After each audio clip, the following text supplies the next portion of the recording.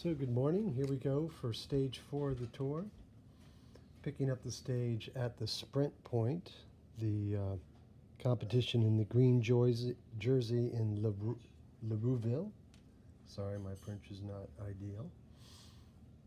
Um, so the green jersey is a jersey that was established in the 50s so the sprinters would have a chance to win something because given all the mountains in the tour, the um,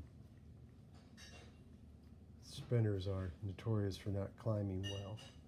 Although this particular rider that I'm drawing right now, Peter Sagan, is a fairly decent climber, not win the Tour de France level of climbing, but still a good climber. So they have just come through the sprint point, um,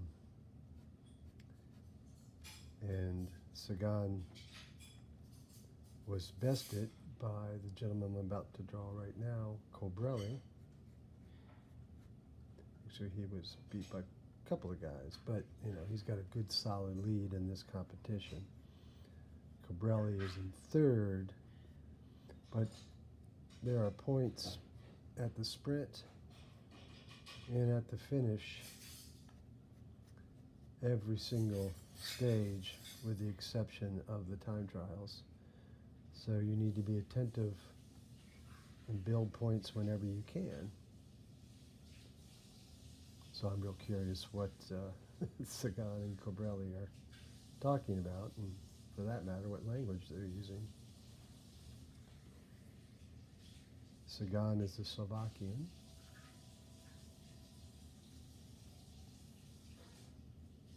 Behind him in the white jersey is the current leader in the young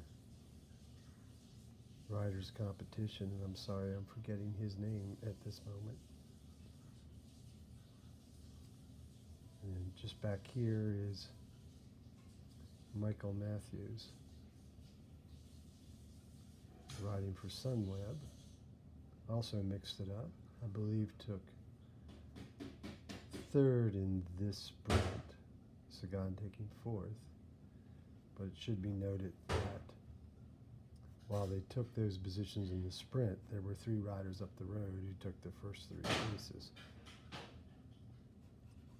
Now I am working down in my my living room, and you can hear my wife in the kitchen doing a little uh, little bit of work in the kitchen, cleaning up some dishes. You know life does go on even during the tour. Sometimes it's a little difficult trying to manage both the life and painting the tour because it is a 21 day race over 23 days. And this does take a bit of time between the painting and the watching and everything else. So so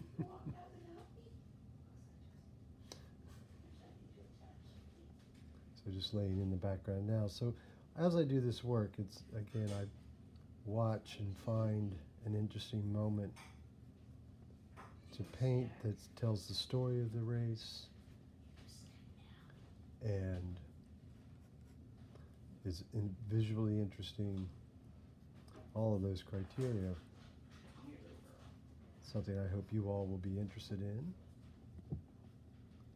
both as fans of art and fans of bike racing. So.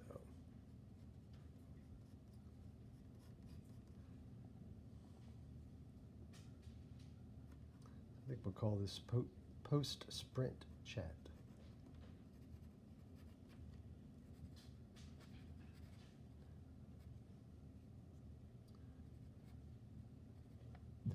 So, and I know I've said it before, but as soon as I finish the line work, I'll start laying in the color and always work light to dark. I see another rider I want to stick in here.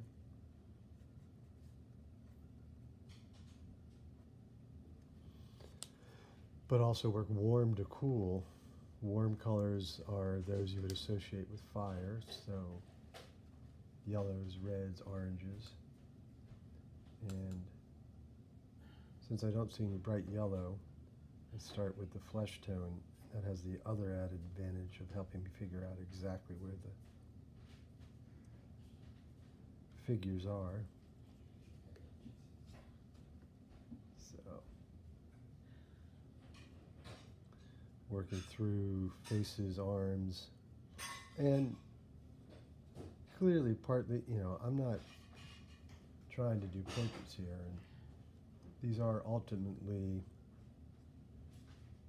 intriguing, interesting images, I hope, that tell the story of the race, but they're not portraits. I'm not going for that, nor would there be enough.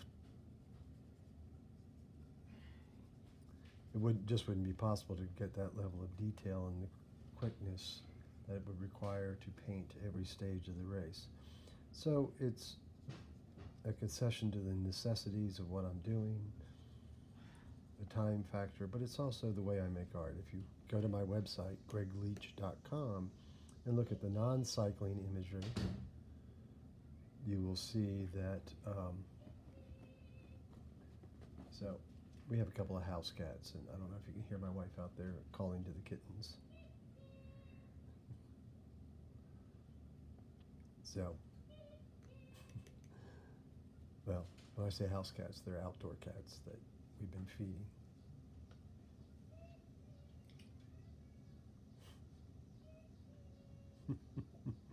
so now we're laying in the reds. Since we have laid in the flesh tones.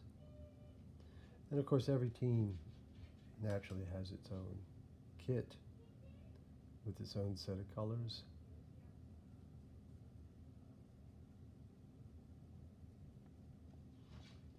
So, laying those in. And then, like I say, so Sagan is in the green jersey.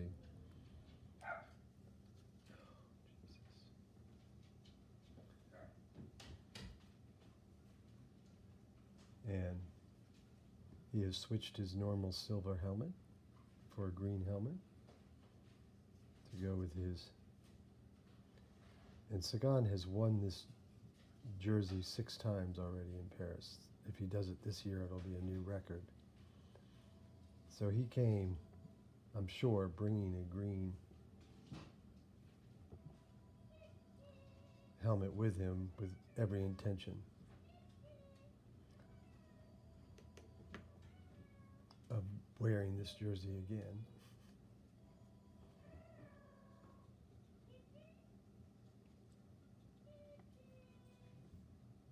So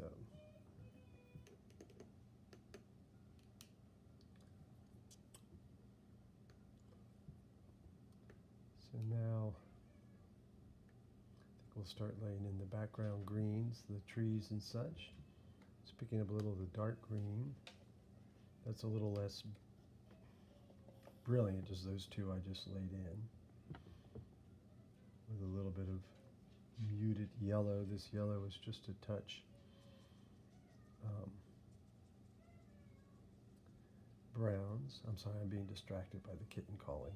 I apologize. I'm mildly frustrated.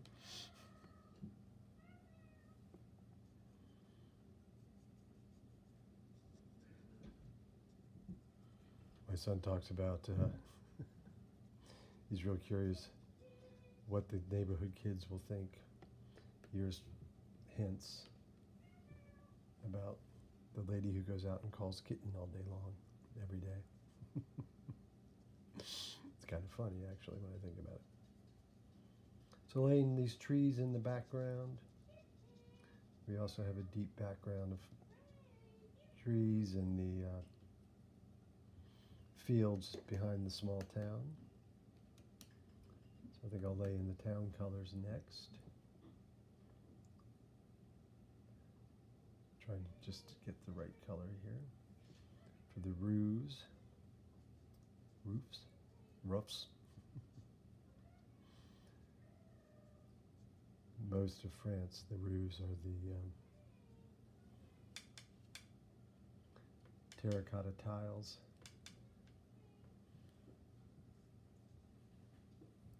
So the trees along the side of the road.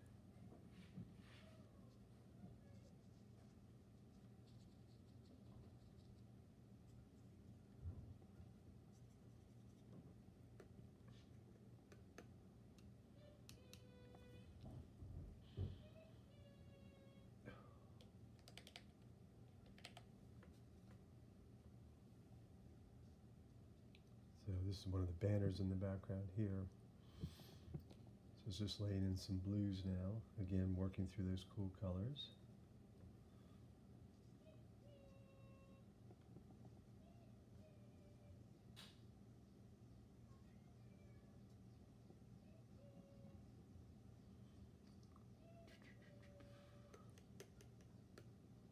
Oops, mixed another area blue.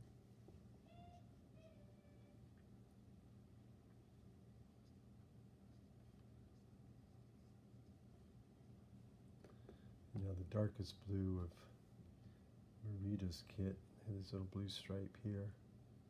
Bahrain Merida. Actually, their shorts are pretty dark. Almost black blue.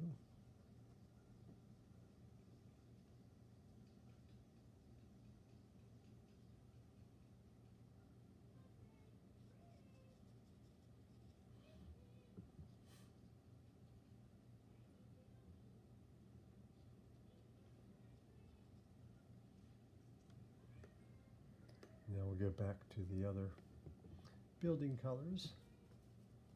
Getting a little bit of orange, leaving my brush a little dirty. Actually, I'm going to pick up some more dirt.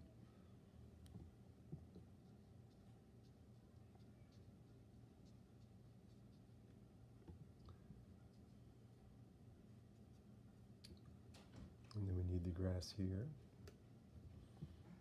Along the side of the road as the riders come through town.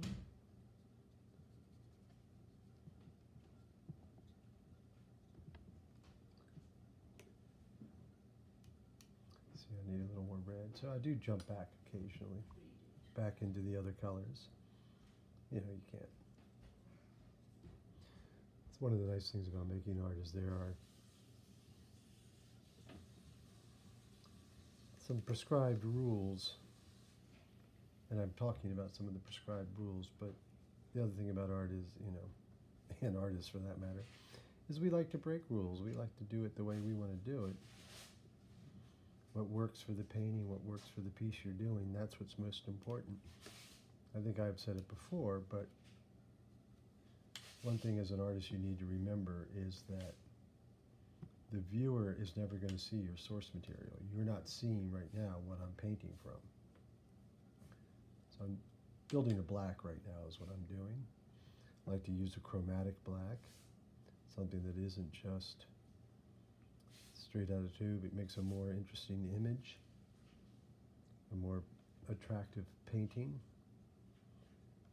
I, I feel like the blacks that come with watercolor sets tend to eat a hole in the uh, artwork. They're just so dark. And they're not chromatic. They're not built of a color. So this is really a muted purple almost. And it's far more attractive to look at than if I just used a non color based dark. Just about finished here. I need to lay the roadway and the sky in. So the roadway I usually, depending on the road surface, now it's cement of course this wouldn't work, but macadam is I'm taking a fair amount of blue into that dark, the quote unquote black, and laying that in, but I'm using a fair amount of water. And you can see I just, I'm getting a puddle here, so I'm going to get some of the water out of my brush and then drag that out. So I get rid of the puddle and then hit it on the napkin. There's a sign here that's too bright of a white, so I'm just going to, again, use the dirty brush Use the dirty brush for shadows on these white kits, white jerseys. And then it's just the sky. So all this work is available, all my Tour de France work is available for purchase, and you can read more about the race and the artwork at theartofcycling.blogspot.com. I'll add that. I hope you'll give a like to the work. And also, you can see. And you can see the um, everything that's happened thus far, and you can purchase the work as well. There will be direct links on each blog post to each painting. Also, I would hope that you would subscribe and you know become a regular viewer of these paintings. I'll be doing them every day of the tour. And also, please give a thumbs up. You know, if you like it, please let everyone else know. Thank you so much.